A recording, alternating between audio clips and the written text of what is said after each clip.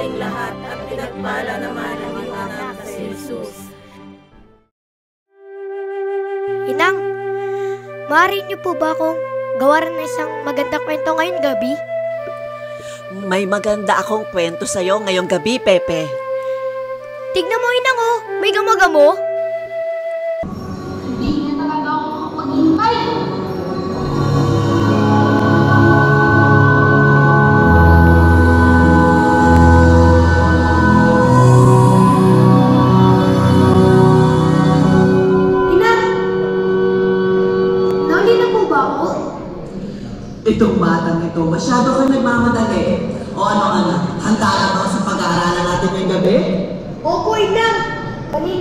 Ko pa po iniisip. O ano po ako natutunan bago?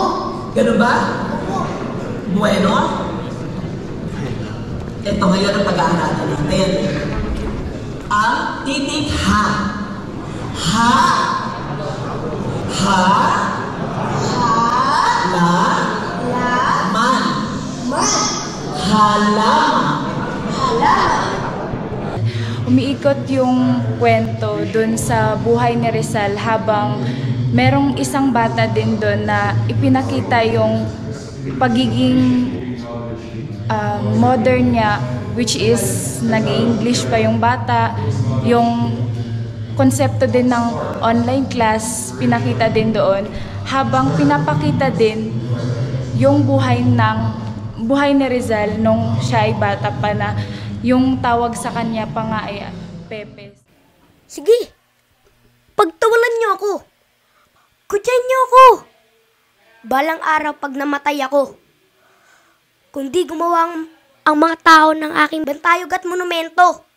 The message is just simple but um, it gives a great impact. Lalo po sa mga sa aming mga kabataan ngayon, sa mga sa bagong henerasyon.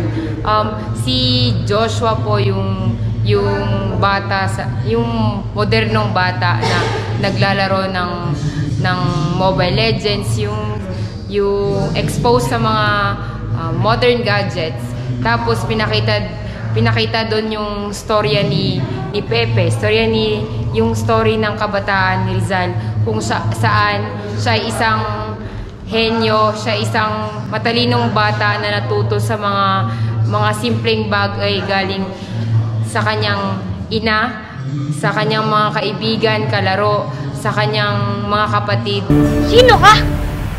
Taga saan ka? Hi, I'm Josh. Who are you? Ako nga pala si Pepe. Bakit kakaiba ang iyong kasuotan at yung panalita? Ano ba yung hawak mo? This is my mobile gaming device. I am rank 9 already.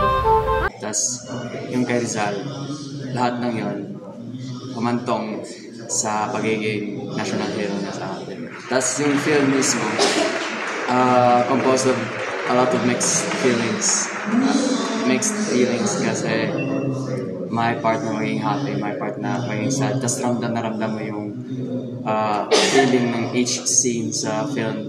And also, uh, great, I commend the ano po, cinematography kasi napakaganda. Awa ka ng Diyos. Magpapakabait ka, Pepe. Awa kayo ng Diyos. Awa kayo ng Diyos. Senyor, Pepe! Oh, Jack! Tama na yan! Tapos na ba kayo sa kawal bahay? Hindi pa po. O ba't sa trabaho? Nakatuwaan lamang po kami, Inang.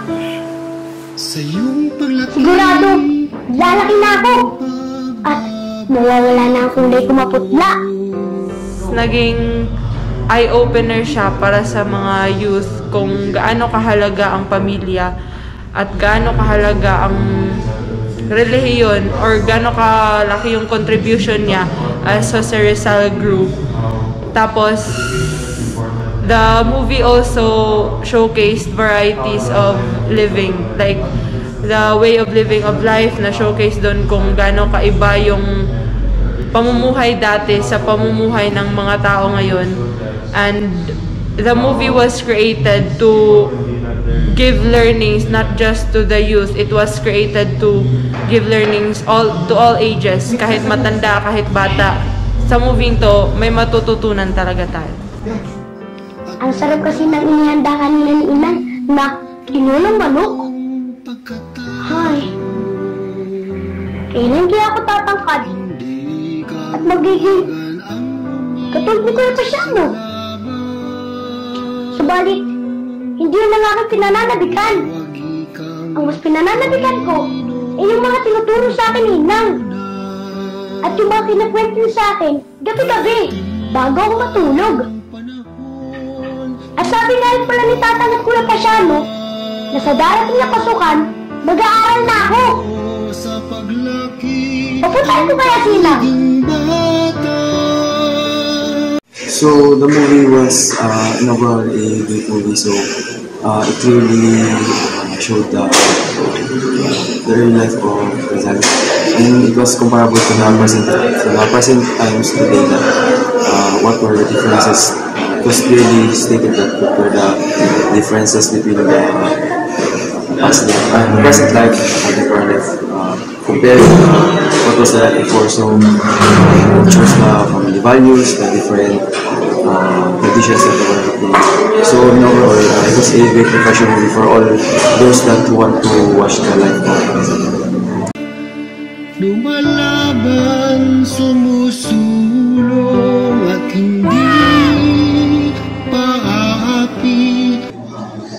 mas nakilala natin si Jose Rizal hindi lang as pambansang bayani, kundi as the child that he was, the experiences, the journey, and the learnings that he got. Musmus lamang walang pagsisisi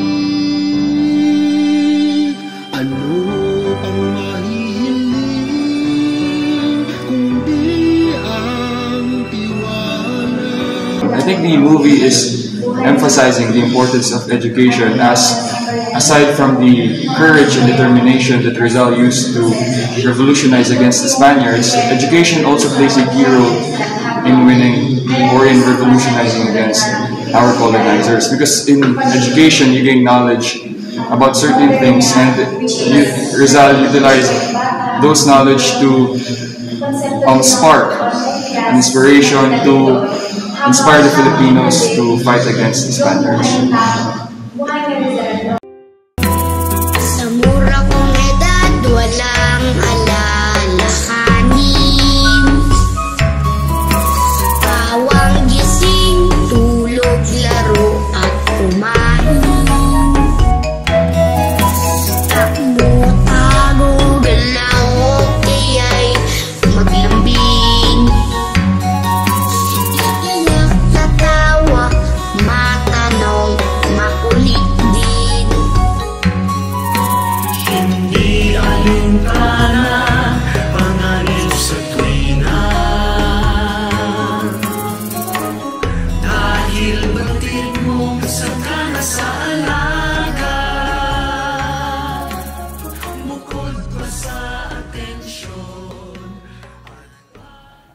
Kahit pa sabihin ika'y Musmus lamang.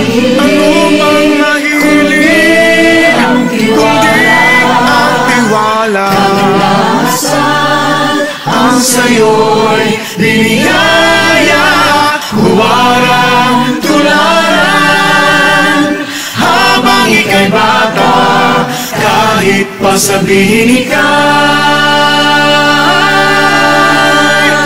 Deus nos.